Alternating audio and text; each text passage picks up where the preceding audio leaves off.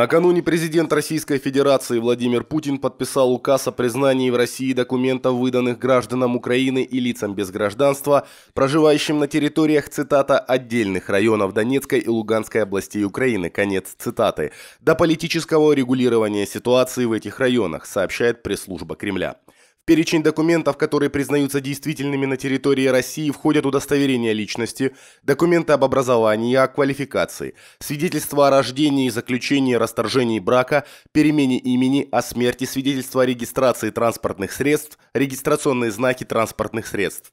В указе также отмечается, что граждане Украины и лица без гражданства, постоянно проживающие на территориях отдельных районов Донецкого и Луганского регионов, могут въезжать и выезжать из РФ без оформления виз на основании документов, удостоверяющих личность.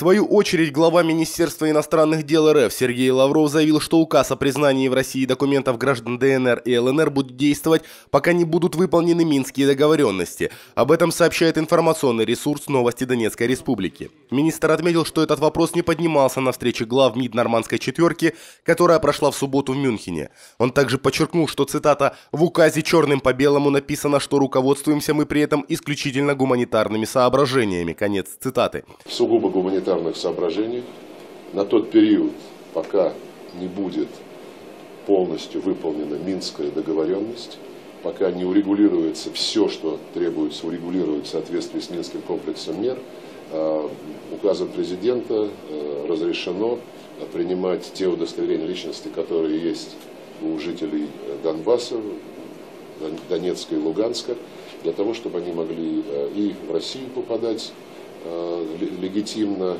и затем э, перемещаться на железнодорожном, авиационном транспорте э, по Российской Федерации. Указ президента России о признании документов, выданных Донецкой Народной Республикой, это еще одно свидетельство того, что Россия поддерживала и будет поддерживать право своих соотечественников бороться за свою жизнь, свою культуру, свой язык и в конце концов за свою честь и достоинство, говорится в сообщении, опубликованном на официальном сайте главы Донецкой Народной Республики.